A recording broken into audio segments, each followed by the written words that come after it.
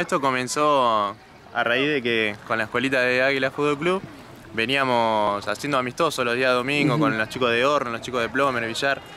Y bueno, surgió de, meterle un poco más de, entusiasmo y hacer una competencia para tener un poco más de, entusiasmo a lo que veníamos haciendo. Armamos una liga que se llama Liga Interbarrial. Ya es la segunda vez que la hicimos, en esta agregamos más equipos. Eh, así que bueno, le pusimos eso, de, la liga. Ahora tenemos eh, ocho, equipos anotados ya, que hoy van a ser cuatro partidos en el día de hoy.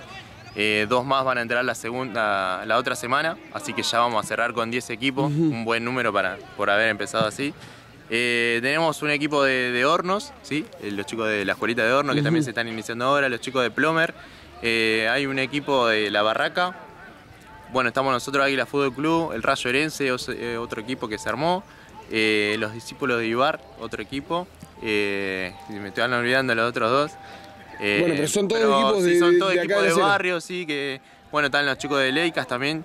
Así que son equipos armados entre amigos, primos, parientes.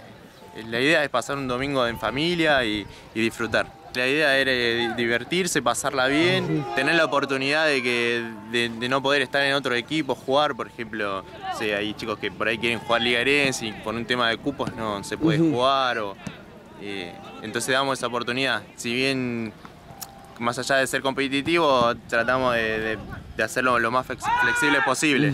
Ahora bueno, se pueden fichar un límite de 25 jugadores, eh, después los cambios pueden ser ilimitados para que tengan la posibilidad de jugar todos, eh, así que bastante bueno. El campeonato dura hasta fines de diciembre más o menos, eh, se va a jugar todos contra todos, bueno, el primero va a salir campeón, después ahí vamos a elegir el goleador del torneo, vamos a elegir el arco con menos goles también, el mejor arquero, Vamos a elegir al DT del campeonato, así que bastantes premios.